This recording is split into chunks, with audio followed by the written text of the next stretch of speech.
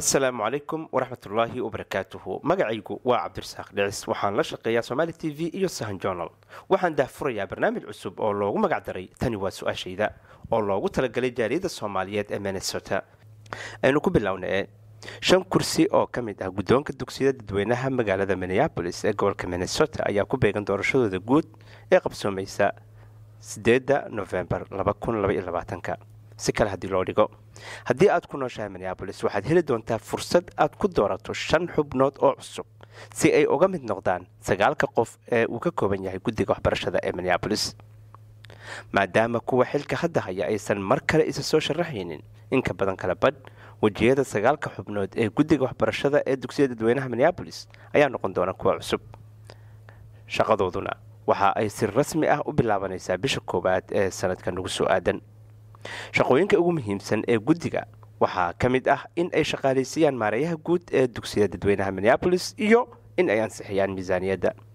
Maadaama uu maareeyihii hore ed graf uu ka tegay shaqada xubnaha guddiga cusub waa in ay doortaan hogaamiye cusub dhowrka bilood ee ugu horreeya ma ahan arrin sahlan inaad xubin ka noqoto guddiga dugsiyada. Guddoonka dugsiyada dadweynaha ayaa faarujiyey xilarkooda laga soo bilaabo laba kun iyo labaatanka bishii saddexaad jagooyinkani lacag fiican laguma qaato waxayna geliyaan saacado badan. Qaar ka mid ah xubnaha guddiga dugsiyada minnesota ayaa wajahaya cagajuglayn hanjabaad iyo warar been abuur ah oo ku saabsan sida jinsiga iyo arrimaha jinsiga looga dhigo dugsiyada. Guddiga waxbarashada dugsiyada minneabolis waxa ay wajahayaan caqabado badan oo ay ka mid yihiin waxbarashada oo hoos u dhac ku timid taasoo ay sababtay xayiraaddii covid dhibaato ka jirta caafimaadka dhibirka ardada iyo weliba shaqo joojinta ay sameeyeen macallimiinta kaasoo socday saddex usbuuc. Laba qof oo soomaali ah oo ku nool minneabolis ayaa u tartamaya xilal. Cabduul cabdi oo aan cidna la tartamayn inuu matalo degmada koowaad oo ku taal waqooyi bari minneabolis iyo fatxiya feeryare ayaa iyadana cidna aysan la tartamaynin waxayna u sharaxan tahay inay matasho degmada saddexaad oo ah qayb ka mid ah koonfurta magaalada minneabolis sahan journal ayaa wareysatay inta badan murashaxiinta si ay u ogaadaan cidda ay yihiin iyo waxa ay mudnaanta siinayaan. Haddii aad rabto inaad wax badan ka ogaato mid kasta oo ka mid ah murashaxiinta waxaad booqan kartaa sahan journal com. Bishii sagaalaad mustafa cumar oo ah wiil saddex toban jir ah oo ku nool banisville ayaa booqasho ku tegay soomaaliya isaga iyo qoyskiisa xagaagii la soo dhaafay. Waxa uu ka cawday daal fara badan muddo yar kadibna waxa uu galay koomo. Waa la garan waayey sababta caafimaadkiisu si deg deg ah hoos ugu dhacay. Hooyadiis khatra ayaa sheegtay inuu caadiyan yahay wiil firfircoon ma naqaan xanuunkan sida uu ugu dhacay. Waxaa loo duuliyey magaalada nairobi ee dalka kenya si halkaasi loogu dabiibo. Hase ahaatee qoyska ayaa weli u helin jawaab waxa wiilkooda ku dhacay. Waxaa loo malaynayaa inay tahay duumo qoorgooyo ama nooc ka mid ah fayraska qaniinyada cayayaanka. Qoyskiisa iyo hay'ad khayri ah oo loo yaqaan humanitarian african relief organization waxay akoon ka fureen gofanmi kii sebtembar si ay u aruuriyaan lacag gaaraysa laba boqol iyo sagaal kun oo dollar. Si ay musdafe uga soo qaadaan kenya kuna geeyaan mayo clinic oo ku taal rochester minnesota si loogu daweeyo gudaha waddanka maraykanka maalmo gudahood iyaga oo kaashanaya ehelkiisa asxaabtiisa iyo jaaliyadda soomaaliyeed ee ku nool minnesota waxaa u suura gashay inay ururiyaan lacag ku filan si ay dib ugu soo celiyaan gurigiisii minnesota kowda bishii tobnaad ee sanadkan. Qudubi mursal oo la shaqeeya masaajidka banisville darusalaam ayaa yidhi nidaamka iscaawinta waxa uu ka mid yahay dhaqanka soomaaliyeed ilaa hadda musdafe weli kooma ayuu ku jiraa laakiin hooyadii ayaa ka mahad celisay in lagu daweynayo mayo clinic si wanaagsan ayay u daryeelayaan ayay tiri khatra. Aad ayaan ugu faraxsanahay inuu halkan joogo. Rug caafimaad cusub ayaa laga furay magaalada st baul rugtani ayaa waxa ay ballanqaadaysaa in ay bixiso daryeel caafimaad oo loogu talagalay dadyooga mongiga soomaalida madowga iyo dadyowga isbaanishka ku hadla. Doctoresa joseph de cabrio ayaa bishaan bilaabi doontaa in ay ku qaabisho bukaanada xarunta caafimaadka oo loo yaqaan lib pediatric and adolescent care. Xaruntan caafimaad oo aan faa'iido doonka ahayn ayay u as-aastay si ay u bixiso daryeel caafimaad oo tayo sare leh oo loogu talagalay dadjooga wajahaya caqabadaha ugu weyn ee caafimaadka iyo badqabka.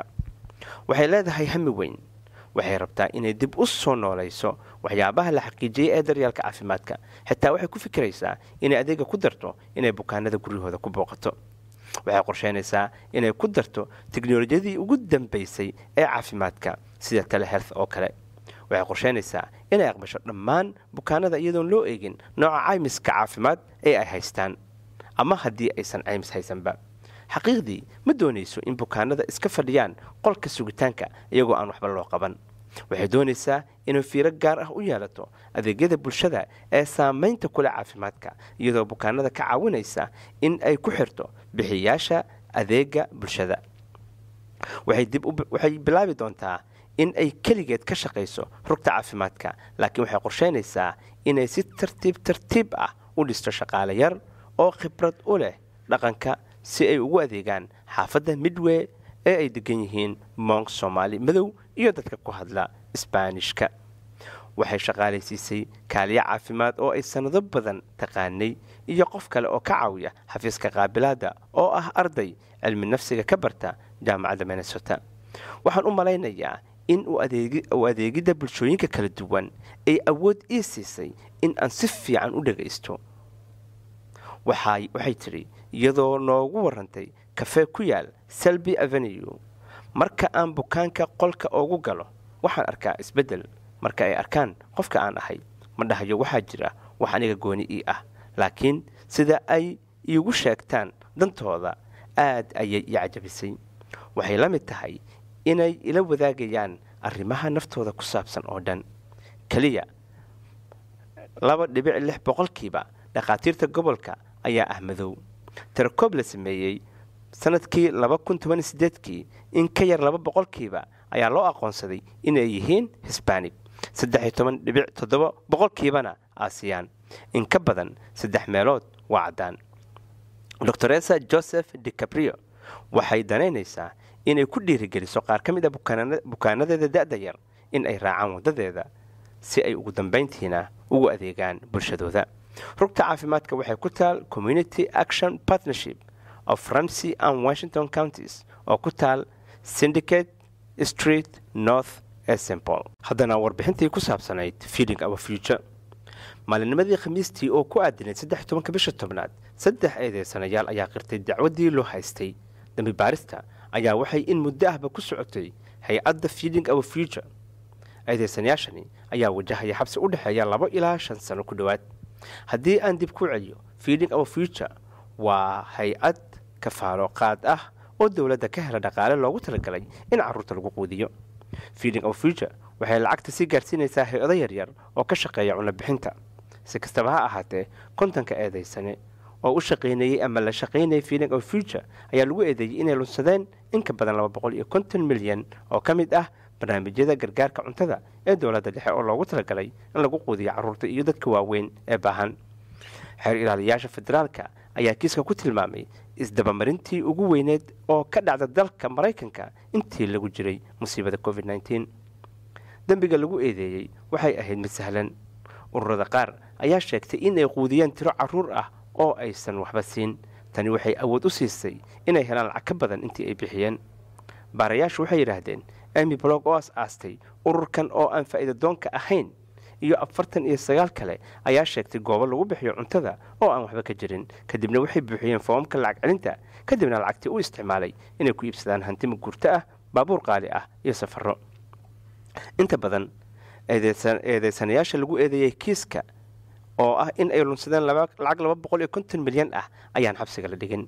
Xafiiska xeer ilaaliyaha maraykanka ee minneabolis ayaa sheegay in saddex ka mid ah eedeysanayaasha ay ka tageen dalka balse dacwad oogayaasha ayaan weli u arag inta badan kuwa kale inay khatar ku yihiin inay ka baxsadaan waddanka mana aysan weydiisan garsoorka in la xidho waxaa ka mid ah kontonka qof ay ilaa hadda lagu soo oogay kiiska la taliyii hore ee duqa magaalada minneabolis iyo laba qof oo kale oo u magacaabay jagooyin.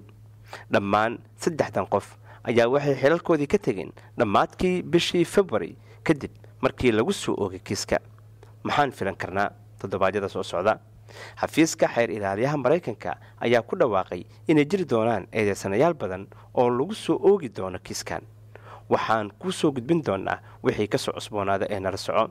Bulshada soomaaliyeed ee minnesota ayaa weli ku kala qaybsan warinta xaaladaha kiiskan. Sideed u aragtaa feeding our future. Fadlan nala wadaag su'aalahaaga faallooyinkaaga ama welwalkaaga xasuusin. Dhammaan waxyaabaha aad nala wadaagto waa kuwa sir ah oo aanay cidna arki doonin. Mana dhaafayso xafiiskeenna warbaahinta. Toddobaadka soo socda waxaan ka hadli doonaa sida uu xanuunka covid nteen u saameeyey waxbarashada. Si toos ah ugala soco facebookkeenna waxaan jecelnahay in aan ku weydiiyo su'aashan sideed u aragtaa saamaynta covid nteen ee waxbarashada ilmahaaga.